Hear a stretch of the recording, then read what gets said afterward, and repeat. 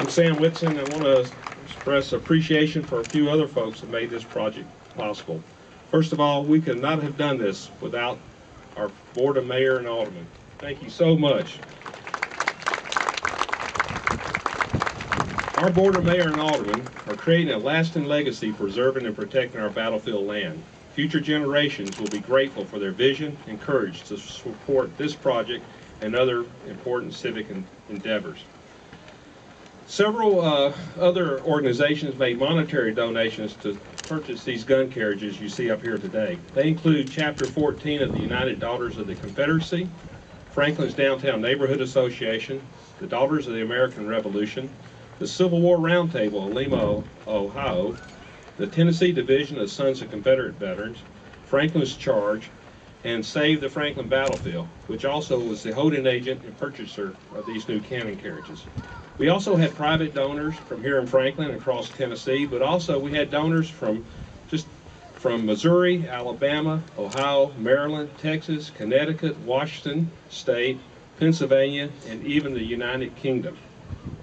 And finally, I want to recognize the Cannons on the Square Committee, my good friends and teammates that started this endeavor years ago and put it all together. And when I mention their names, I like for them to stand. Pam Lewis, mm-hmm. Alderman Mike Skinner,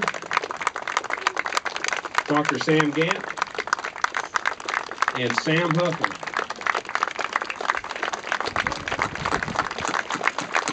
Good job, guys. I'm pleasure to be with you. At this time, I would like to introduce and ask them to come forward, those participating in today's ribbon cutting ceremony to dedicate our new cannon carriages.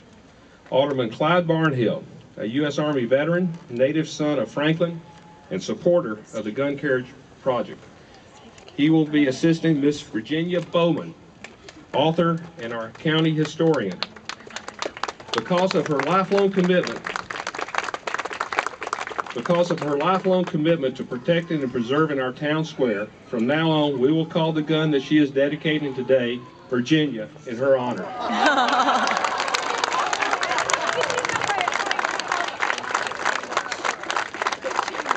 And I also think it's appropriate that it will always be aimed at City Hall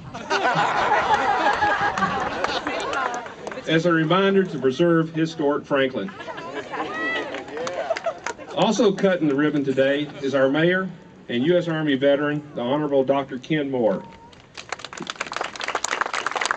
He will be assisted by Miss Anna Kate Whitson, a Daisy Scout and kindergarten student at our local Oakview Elementary School.